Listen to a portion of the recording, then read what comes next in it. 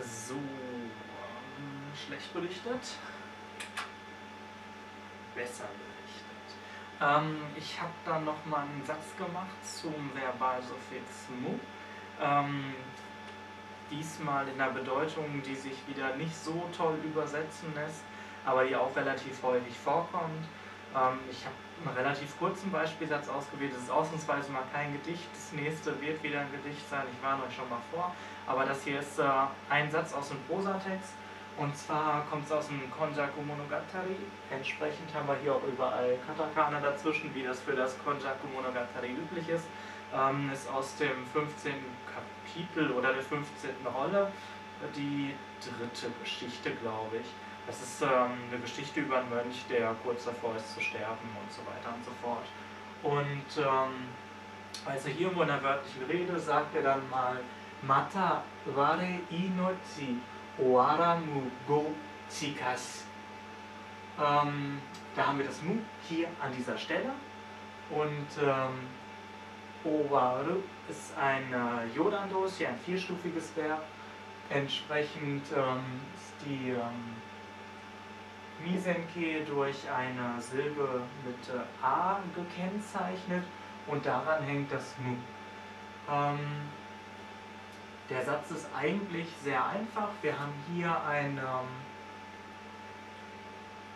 ein Adjektiv, ein Keosi als, ähm, als Verb des Satzes ähm, und ansonsten ganz normal, ganz einfach strukturiert. Ähm, das Mu haben wir an dieser Stelle. Es äh, macht da ja das, was sich halt relativ schwierig umschreiben lässt, so eine. Es ist halt attributiv und macht so eine Umschreibung oder so eine Euphemisierung. Das passt ja hier so im Zusammenhang mit dem Sterben ganz gut. Ähm, ich lese den Satz, ich habe den Satz gerade schon vorgelesen. Ähm, was haben wir denn da? Äh, Mata außerdem zusätzlich darüber hinaus, außerdem ähm, Tsikasi nahe sein, Go die Zeit und dann Oaramu, die Zeit, wo endet, Ware Inochi, mein Leben.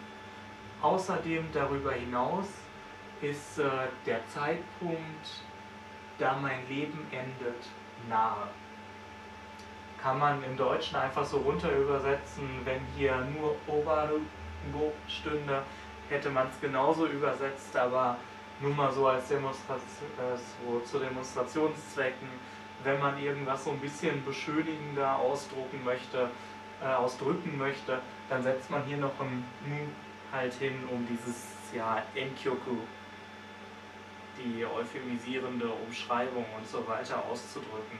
Ähm, ja, lässt sich doof ins Deutsche übertragen, kommt aber häufig vor. Darum, aus Prinzip muss das auf jeden Fall mal vorgestellt werden. Ähm, ich glaube, ansonsten gibt es hier großartig aber nichts zu sagen. Es gibt äh, kein Kakari Musubi, das äh, Tsukasi am Satzende steht ganz normal in der Sushike. Ähm, wird halt verbal gebraucht, also nahe sein. Und was ist nahe? Der Zeitpunkt oder die Zeit ist nahe, wo dann das passiert, was halt vorne in diesem Attributivkonstrukt steht. Ja, hm. darüber hinaus gibt es eigentlich nichts mehr hinzuzufügen. Dann auf zum nächsten.